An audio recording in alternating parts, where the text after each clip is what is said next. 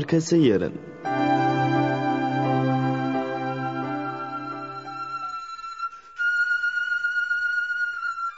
Şeyh Şamil 6. Bölüm Parolası Allah, vatan ve hürriyet olan cesur insanların yaşadığı bu ülkede cihat rüzgarları esiyor, zorba Rus çarının askerleri 18. yüzyılın ikinci yarısında masum insanları katlediyordu. Çar, diğer İslam topraklarını zapt gibi Kafkasya'yı, Dağıstan'ı, Azerbaycan'ı da ele geçirmek istiyordu. Fakat hışımla gelen istilacı orduya karşı Müslüman ahali canla başla mukavemet ediyor, İslamiyeti, hürriyetlerini, vatanlarını müdafaa ediyorlardı. Gazi Muhammed, Gimri'de Şeyh Şamil'in yanı başında şehit düştükten sonra İmam Hamzat reisliğe seçildi. Kısa müddet sonra da İmam Hamzat bir mübarek cuma günü namazdan çıkarken şehit edilince Şura'da Şamil'i imamlığa seçti. Yakalanması için başına 30 bin ruble mükafat koyan Çar, Şeyh Şamil'i elde edemeyince tekrar savaşmaya karar vermişti. Bu arada Şeyh Şamil, halkı teşkilatlandırarak düzenli bir ordu kurmayı başarmıştı. Rus ordusunun Çeçenistan'a yürüyeceğini tahmin eden Şeyh Şamil, gerekli tedbirleri alıp vur kaç taktiğiyle Rus ordusunun maneviyatını iyice bozmuştu. Daha sonra bir baskınla Rus ordusunu kesin bir hazimete uğrattı. Şimdi Rus çarı Nikola'nın ne yapacağı merak konusuydu. Rezalet! Rezalet! Koca bir ordu, silahlı, toplu, tüfekli, koca Rus ordusunu bir avuç Dağıstanlı karşısında mağlup ettiniz General Grabe. Şamil büyük bir savaş dehası Çar Hazretleri. Nerede, ne şekilde savaşılacağını çok iyi biliyor. Ve siz bunları karşıma geçmiş, iftiharla anlatıyorsunuz bana. ha? General Grabe, derhal istifanızı takdim edin.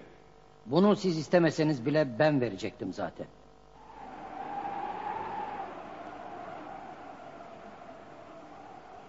Naiplerim, kumandanlarım, sizleri buraya toplamaktaki sebebi izah edeceğim. Çar'ın ordusuna Çeçenistan ormanlarında büyük bir ders verdik. Rus ordusunun dörtte üçünü öldürdük. Çeçenistan ormanında aldıkları dersi unutacaklarını hiç sanmam ya imam. Yanılıyorsunuz Şuayb Molla.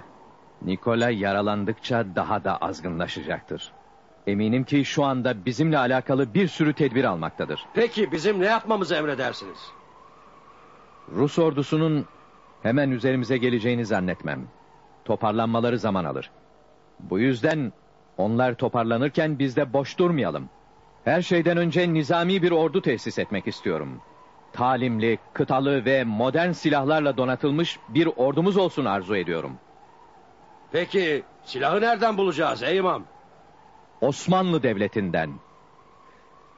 Sadece kılıçla, tek dolumluk tüfeklerle yürütemeyiz bu savaşı. Güçlü olursak bize çar değil başkaları bile yüklenemez artık. Başka bir emriniz var mı ya İmam Şamil? Hacı Murad'ı düşünürüm Ahverdili Muhammed. Onun gibi bir cengaverin yanımızda olmasını arzularız. Evet. Hacı Murat yiğit bir muhariptir. Tez Hacı Murad'a haber salın. Bir an önce kendisini görmek istediğimizi haber edin. Doğru dersiniz. Acı Murat gözü pek bir yiğittir.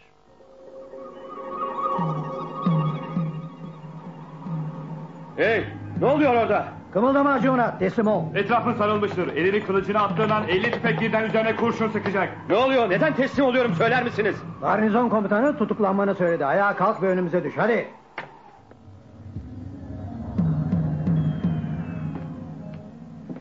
Hacı Murat, seni Rus çarı 1. Nikola'nın emriyle tutukluyorum. Sebep ne komutan? Neden tutukluyorsun beni? Ruslara İslam bayrağı açan Şeyh Şamil ile birlikte olduğunu öğrendik. Ona gizli gizli mektuplar, elçiler göndererek harekatımız hakkında malumat veriyormuşsun. Yalan. Bütün bu söyledikleriniz yalan. Hacı Murat, seni 15 sene Sibirya'da hapse mahkum ediyorum.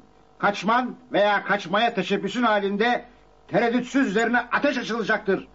Mahkeme gitti işte tutuklayıp satın. Alçaklar, reziller bunun hesabını vereceksiniz bana. Allah adına yemin ediyorum ki beni bu oyuna getiren herkes hesabını verecek.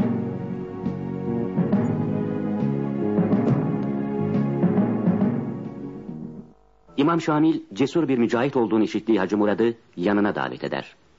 Fakat haber daha ulaşamadan Ruslar Hacı Murad'ı tuzağa düşürüp yakalar ve Sibirya'ya sürgüne gönderirler.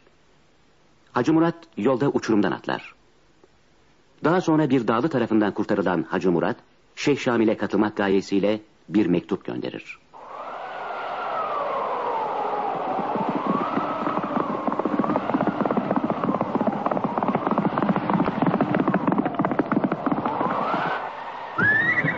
Ya imam, sana bir mektup var. Mektup mu? Kimden? Yoksa yine bizi parayla makamla kandırmak isteyen çardan olmasın? Hayır, az önce bir dağ köylüsü getirdi. Sana vermemi söyledi. Allah Allah. Ver bakalım kimdenmiş. Ya Rabbi. Olamaz. Mümkün değil. Hayrola ya imam? Mektupta kötü şeyler mi yazılı? Mektup. Mektup Hacı Murat'tan. Hacı Murat'tan mı? Ama onun öldüğünü duymuştuk. Sibirya'ya giderken kendisini uçurumdan aşağı attı demişlerdi. Demek ki ölmemiş. Yaşıyormuş. Bir dağ köyündeymiş. Dinleyin. Şanlı ve şerefli, şöhreti dünyalara sığmayan büyük İmam Şamil'e şu anda yersiz yurtsuz, başıboş olan Hacı Murat'tan selam olsun. Kolumdaki gücü ve yüreğimdeki sönmez öcü senin emrine veriyorum. Şimdi senin emrinde kılıç sallamak üzere yanına gelirsem beni kabul eder ve kuvvetimi tecrübe etmek ister misin? Zavallı delikanlı. Ya imam, mektuba ne cevap vereceksiniz? Yazın. Cevabımdır. Gel yanımıza. Seni bağrımıza basmaya daima hazırız. Bizim için her vakit hoş geldin, safa geldin. Cesur ve kahraman Hacı Murat. Allah'ın selamı üzerine olsun.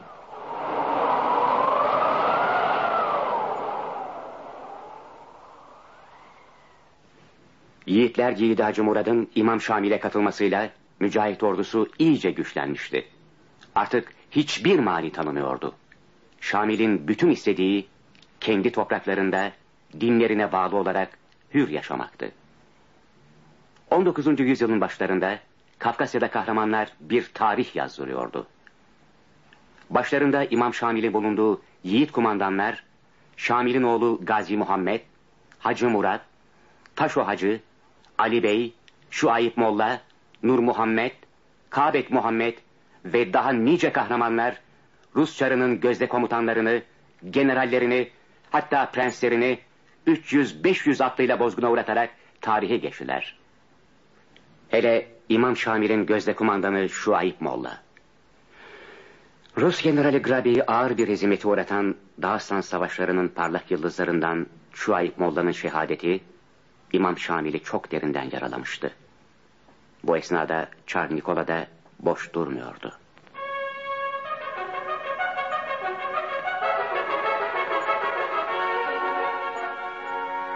Kafkas Umumi Valisi ve Rus orduları başkomutanı General Kont Voroskop geldi Çar Hazretleri. Gelsin. Beni emretmişsiniz Çar Hazretleri. Gelin Kont Voroskop.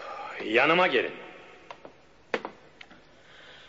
Kont, sizden çok önemli bir vazife yüklenmenizi istiyorum. Emredersiniz Çar Hazretleri. Kafkasya Kont. Bir tek Kafkasya direniyor. Hem de başlarında Şamil adında bir isyancı. Bir avuç dağlı, koca Rus İmparatorluğuna ve bana yıllardır direniyor. Biliyorum efendim. En değerli komutanlarımı, on binleri geçen ordularımı perişan ettiler. Yendiler, ağır hezimetlere uğrattılar. Artık bu işe bir nihayet vermek istiyorum. Emredin yakıp yıkayım efendim. Şamil korkunç bir adam. Bir savaş dahisi o. Mağlup generaller anlattı. Sanki ne taraftan saldıracağımızı biliyormuş gibi tedbirleri zamanında alıyor ve koca düzenli ordumuzu bir avuç çetesiyle hüsrana uğratıyor. Şamil'in şöhretini işittim Çar Hazretleri. Bu devletimiz için artık bir şeref meselesi olmuştur Kont Voroskop. Doğru efendim. İşgalimiz ve hakimiyetimiz altında olan diğer ülkelerde de ufak ufak kıpırdanma hareketleri başladı. Onlar da Şamil gibi direnmeye kalkarlarsa hepsiyle baş etmemiz imkan haricidir. Haklısınız efendim.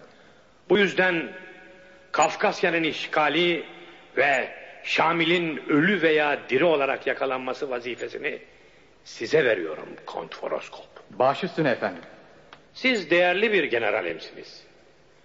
Hem askerler hem de subaylar size hayrandır. Teveccühünüz Çar Hazretleri. Size büyük selahiyet veriyorum Kont Foroskop. Bu harekat için gerekiyorsa 500 bin kişilik Rus ordusunun tamamını emrinize verebilirim. Tek isteğim Kafkasya'nın dizlerimin önünde boyun eğmesi ve bize çok pahalıya mal olan binlerce askerimizin ölümüne sebep olan Şamil'in ölü veya diri yakalanması. Derhal Çar Hazretleri. Emriniz yerine getirilecektir. 15 gün sonra Kafkasya harekatına başlayacağım. Çok iyi. Bunun için kaç asker alacaksınız bu harekatta? Ee, ilk safhada 50 bin efendim. Göreyim sizi Kont Foroskop.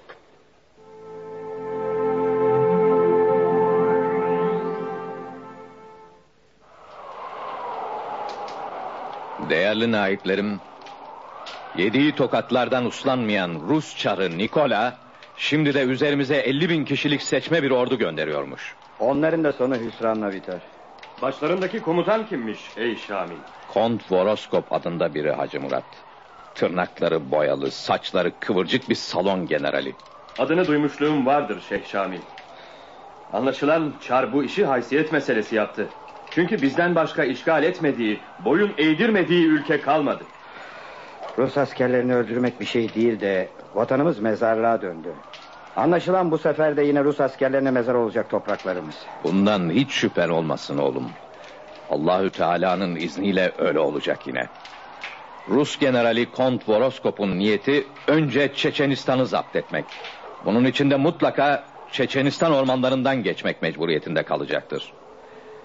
Şimdilik size harp taktiği vermiyorum. Kont harekatı başlattıktan sonra ne şekilde hareket edeceğimizi söyleyeceğim. Sizlerden istediğim askerlerimizi hemen talime almanızdır.